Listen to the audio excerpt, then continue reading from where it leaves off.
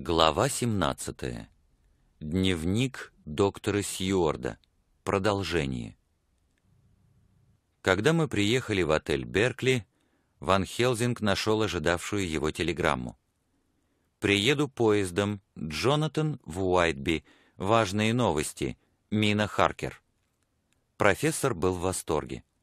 «О, чудная мадам Мина!» — сказал он. «Это не женщина, а жемчужина. Она едет, но я не могу остаться. Она должна заехать к тебе, Джон. Ты должен встретить ее на станции. Телеграфируй ей в поезд, чтобы предупредить об этом».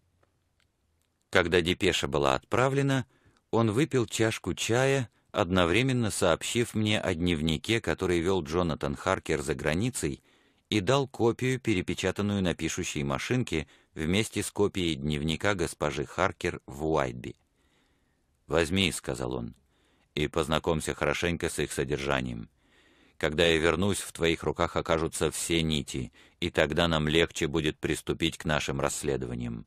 Береги их, в них много ценного. Тебе нужна будет вся твоя вера в меня, даже после опыта сегодняшнего дня. То, что здесь сказано, может послужить началом конца для тебя, для меня и для многих других. Или же может прозвучать погребальным звоном по неумершим, которые ходят по земле. Прочти все внимательно, и если сможешь что-нибудь добавить к этой повести, сделай это, потому что это крайне важно. Ты ведь тоже вел дневник о замеченных тобою странных вещах, не так ли? Да? Тогда мы все обсудим вместе при встрече. Затем он уложил вещи и вскоре поехал на Ливерпульскую улицу. Я направился к Паддингтону, куда и прибыл приблизительно за 15 минут до прихода поезда. Толпа поредела после беспорядочной суеты, свойственной всем вокзалам в момент прибытия поезда, и я начал чувствовать себя неуютно, боясь пропустить свою гостью, когда изящная хорошенькая девушка подошла ко мне и, окинув меня быстрым взглядом, спросила, «Доктор Сьюарт, не правда ли?» «А вы миссис Харкер», — ответил я, и тотчас же она протянула руку. «Я узнала вас по описанию милой и бедной Люси». Я взял ее чемодан, в котором была пишущая машинка, и мы отправились на Фенчер-стрит по подземной железной дороге, после того, как я послал депешу моей экономке, чтобы она немедленно приготовила гостиную и спальню для миссис Харкер. Немного спустя мы приехали. Она знала, конечно, что моя квартира помещалась в доме для умалишенных, но я заметил, что она не в силах была сдержать легкую дрожь, когда мы входили. Она сказала, что, если можно, она сейчас же придет ко мне в кабинет, так как многое должна сообщить поэтому я заканчиваю предисловие к моему фонографическому дневнику в ожидании ее прихода. До сих пор у меня еще не было возможности просмотреть бумаги, оставленные Ван Хелзинком, хотя они лежат раскрытые передо мной. Я должен занять ее чем-нибудь, чтобы иметь возможность прочесть их. Она не знает, как нам дорого время и какая работа нам предстоит. Я должен быть осторожным чтобы не напугать ее. Вот и она. Дневник Мины Харкер, 29 сентября. Приведя себя в порядок, я сошла в кабинет доктора Сьюарда. У дверей я на минуту остановилась, так как мне показалось, что он с кем-то разговаривает. Но поскольку он просил меня поторопиться, я постучалась и после приглашения вошла. К величайшему изумлению — у него никого не было. Он оказался совершенно один, а напротив него на столе стояла машина, в которой я сейчас же по описанию узнала фонограф. Я никогда их не видела и была очень заинтересована. «Надеюсь, что не задержала вас», — сказал я, «но я остановилась у дверей, услышав, что вы разговариваете, и подумала, что у вас кто-то есть». «О», — ответил он, улыбнувшись, — «я только заносил записи в свой дневник». «Ваш дневник?» — спросила я удивленно.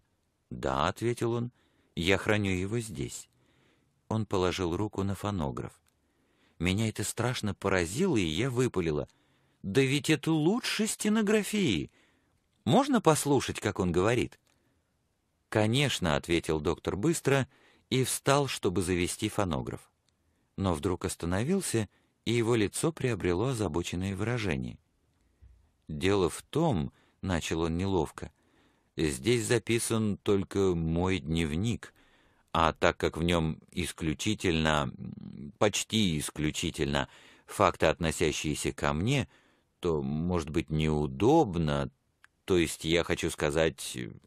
Он остановился, и я попыталась вывести его из затруднения. «Вы помогали ухаживать за умирающей Люси. Позвольте услышать, как она умерла.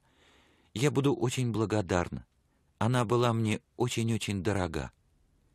К моему удивлению, доктор ответил с выражением ужаса на лице.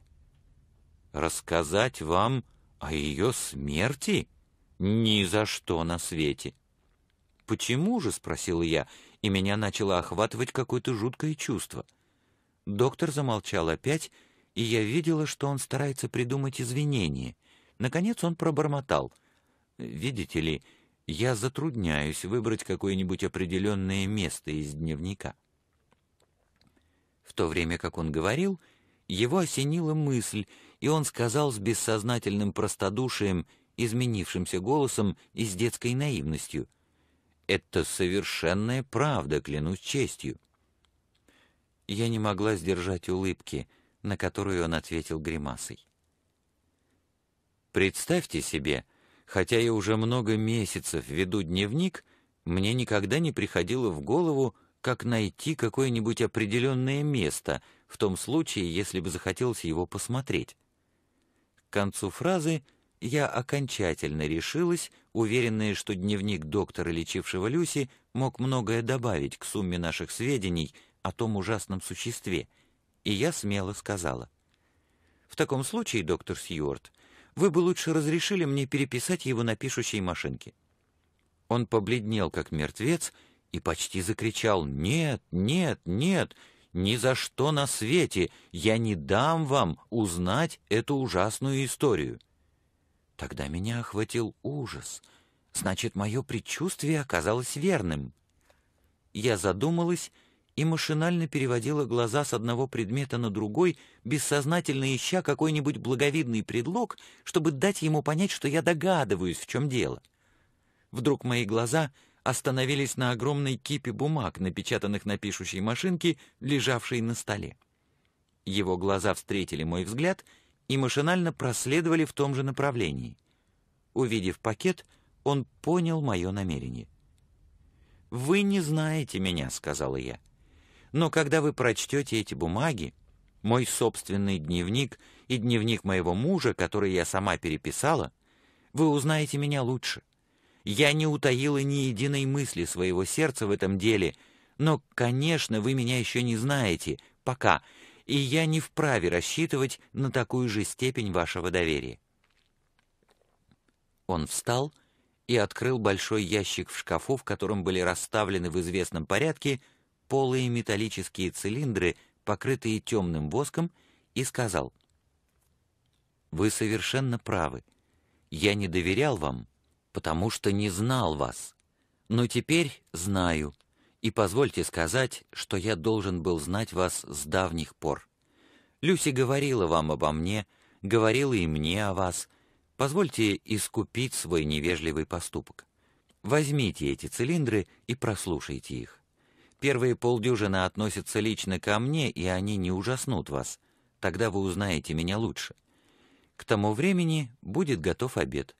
Между тем я перечитаю некоторые из этих документов и смогу лучше понять некоторые вещи. Он сам отнес фонограф в мою комнату и завел его. Теперь я узнаю что-нибудь интересное, ибо познакомлюсь с другой стороной любовной истории, одну из которых я уже знаю. Дневник доктора Сьюарда. 29 сентября. Я был так поглощен удивительными дневниками Джонатана Харкера и его жены, что не замечал времени. Как раз когда я кончил чтение дневника миссис Харкер, она вошла с распухшими от слез глазами. Это глубоко меня тронуло. «Я очень боюсь, что огорчил вас», — сказал я как можно мягче. «О нет, не огорчили», — ответила она. «Но ваше горе бесконечно меня тронуло. Это удивительная машина, но она до жестокости правдива. Она передала мне страдания вашего сердца с мучительной точностью. Никто не должен больше слышать их повторение. Видите, я старалась быть полезной. Я перепечатала слова на пишущей машинке, и никому больше не придется подслушивать биение вашего сердца, как сделала это я. Никому и не нужно больше знать об этом, и никто не узнает, — произнес я мягким голосом. Она положила свою руку на мою и сказала очень серьезно. «Ах, да, но ведь должны они...» «Должны? Почему?» потому что частица сей ужасной истории касается смерти Люси и всего, что ее вызвало, потому что для предстоящей борьбы, для избавления Земли от этого чудовища мы должны владеть всем знанием и всеми средствами, какие только возможны. И я думаю, цилиндры, которые вы мне дали, содержат больше того, что мне следовало бы знать. Но я вижу, что ваши записки проливают много света на эту мрачную тайну. Вы позволите помочь вам, не правда ли? Я знаю все до одного известного пункта, и я уже вижу, хотя ваш дневник довел меня только до 7 сентября, до какого состояния была доведена бедная Люси и как подготавливалась ее ужасная гибель. Джонатан и я работали день и ночь с тех пор, как нас посетил профессор Ван Хелзинг. Джонатан поехал в Уайтби, чтобы раздобыть еще сведений — а завтра он приедет сюда, чтобы помочь нам. Нам незачем иметь тайны друг от друга. Работая сообща, при абсолютном доверии мы, безусловно, будем сильнее, чем в том случае, если бы некоторые из нас блуждали в потьмах. Она посмотрела на меня так умоляюще и в то же время проявила столько мужества и решимости, что я сейчас же выразил согласие. «Вы можете поступать в этом доме, — сказал я, — как вам угодно. Вам еще предстоит узнать ужасные вещи. Но раз вы прошли такой большой путь по дороге к смерти бедной Люси, то не согласитесь, я знаю, оставаться в потемках.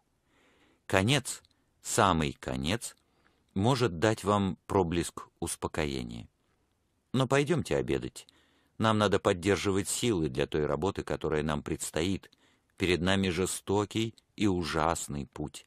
После обеда вы узнаете все остальное, и я отвечу на ваши вопросы, если вам попадется что-нибудь непонятное, тем более что для нас, присутствовавших при этом, ничего непонятного нет. Дневник Мины Харкер. 29 сентября. После обеда я прошла с доктором Сьюардом в его кабинет.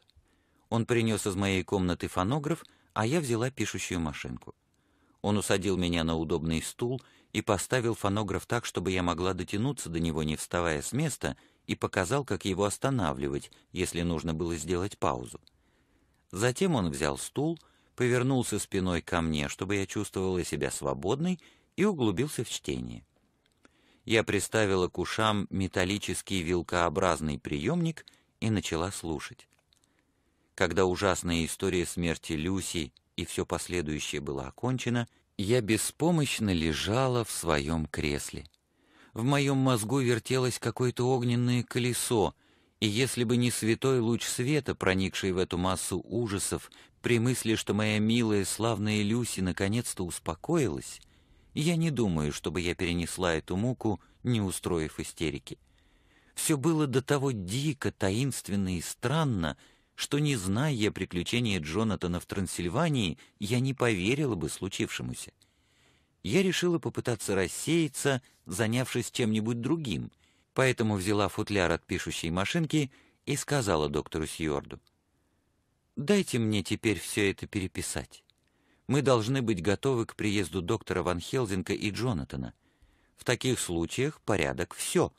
И я думаю, если мы приготовим весь наш материал, и каждая статья будет помещена в хронологическом порядке, то сделаем многое. Исполняя мое желание, Он поставил фонограф на малую скорость, и я начала перепечатывать сначала седьмого цилиндра. Я сняла три копии из дневника и со всего остального. Было поздно, когда я закончила. Доктор Сьюарт в это время выходил для обхода своих больных. Когда он вернулся, то сел рядом со мною читать, так что я не чувствовала себя одинокой за работой. Дневник доктора Сьюарда. 30 сентября. Мистер Харкер приехал в 9 часов. После завтрака он с женой отправился к себе в комнату, и когда через некоторое время я проходил мимо, то услышал стук пишущей машинки. Они, по-видимому, сильно заняты этим делом. Миссис Харкер говорит, что они стараются связать в хронологическом порядке каждый клочок достоверности, который у них имеется. У Харкера в руках переписка между принимавшими ящики в Уайтби и посыльными из Лондона, которым они были поручены. Теперь он читает мой дневник, перепечатанный женой. Мне интересно, что они из него извлекают. Вот он. Странно, почему мне не приходило в голову, что соседний дом может быть убежищем графа. А между тем поведение пациента Ренфилда давало нам достаточно указаний на это. О, если бы мы догадались раньше, то могли бы спасти бедную Люси. Харкер говорит, что к обеду он сможет показать целую связную повесть. Он считает, что тем временем мне следует повидать Ренфилда, так как он до сих пор служил известным указанием на приход и уход графа. Пока я с трудом это вижу, но когда разберусь в числах, то, вероятно, соглашусь с этим. Когда я вошел, Ренфилд спокойно сидел в своей комнате со сложенными руками и кроткой улыбкой. В ту минуту он казался совершенно нормальным. Я сел и начал беседовать с ним на самые разнообразные темы. Он говорил вполне рассудительно. Затем Ренфилд заговорил о возвращении домой, вопрос которого он не поднимал, насколько я помню, за все время своего пребывания здесь. Он совершенно уверенно говорил о немедленном освобождении. Я уверен, что не посоветуйся я с Харкером — и не слечи по числам время припадков Ренфилда, я был бы готов отпустить его после кратковременного наблюдения. Но теперь я крайне подозрительно отношусь к нему. Припадки оказывались каким-то непонятным образом связанными с близостью графа. Он плотоядный, и во время своих диких рысканий у дверей часовни пустынного дома всегда говорил о хозяине.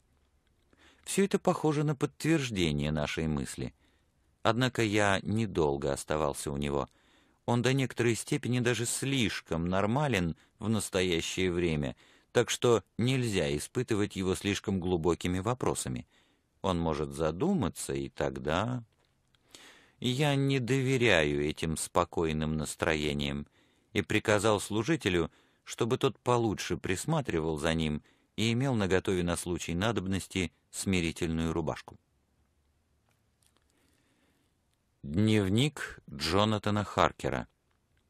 29 сентября. В поезде по дороге к Лондону.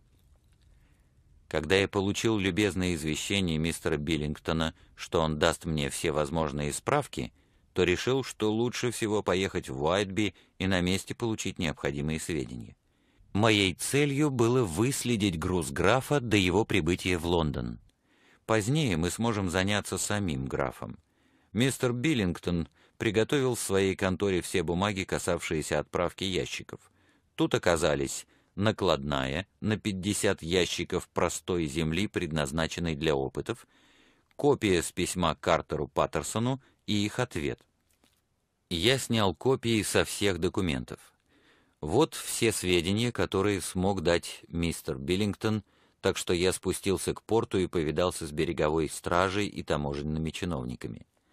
У всех нашлось, что сказать мне по поводу странного прибытия корабля. Событие мало-помалу начинает испаряться из людской памяти, но никто не мог добавить чего-либо к несложному описанию 50 ящиков простой земли. Затем я повидался с начальником станции, который дал мне возможность снестись с рабочими, принявшими ящики Их квитанция совершенно сходилась со списком, и им нечего было добавить, кроме того, что ящики были огромны и ужасно тяжелы. 30 сентября. Начальник станции был настолько добр, что дал мне рекомендацию к своему товарищу, начальнику станции в Кинг-Кросс, поэтому, приехав туда утром, я мог расспросить его о прибытии ящиков. Он сейчас же познакомил меня с нужными служащими, и я увидел, что их квитанция сходилась с первичной накладной. Оттуда я прошел в центральную контору Картера Паттерсона, где меня встретили чрезвычайно любезно.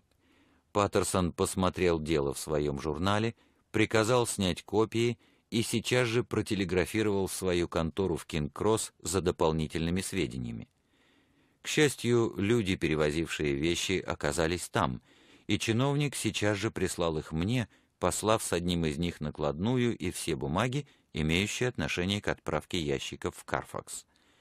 Здесь я опять увидел полную согласованность с квитанцией. Посыльные смогли дополнить краткость написанного некоторыми подробностями.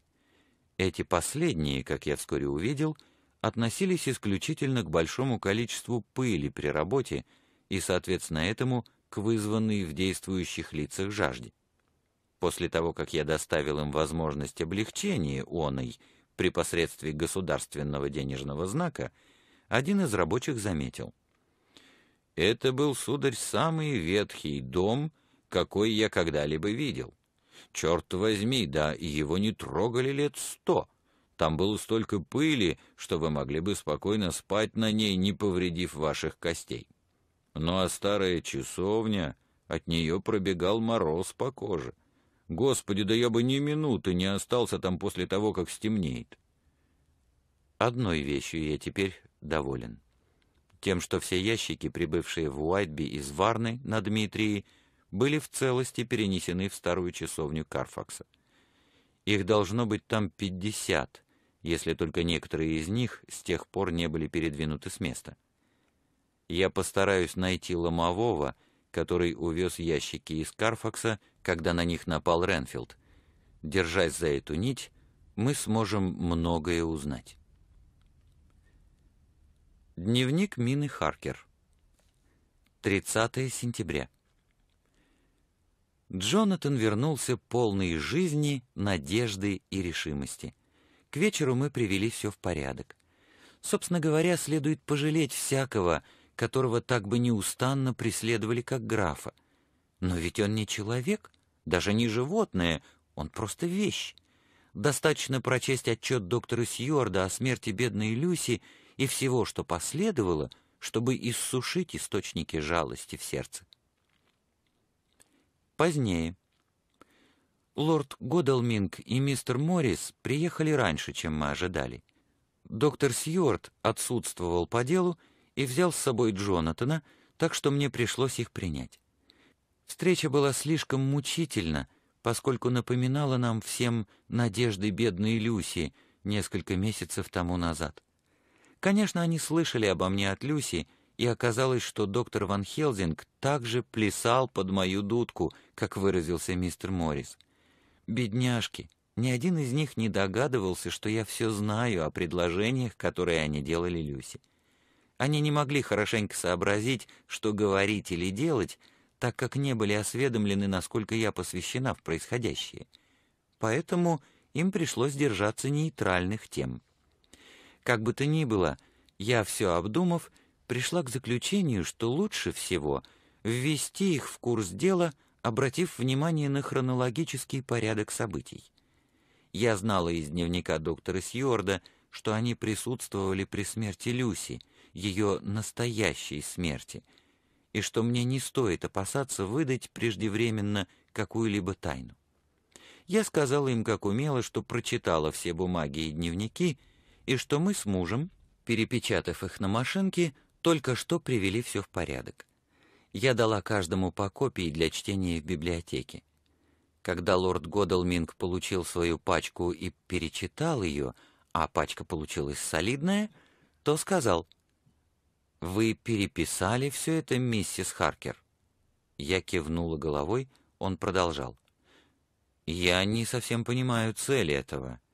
Но вы все такие хорошие люди и работали так сердечно и энергично, что мне лишь остается с закрытыми глазами принять ваши выводы и постараться помочь вам.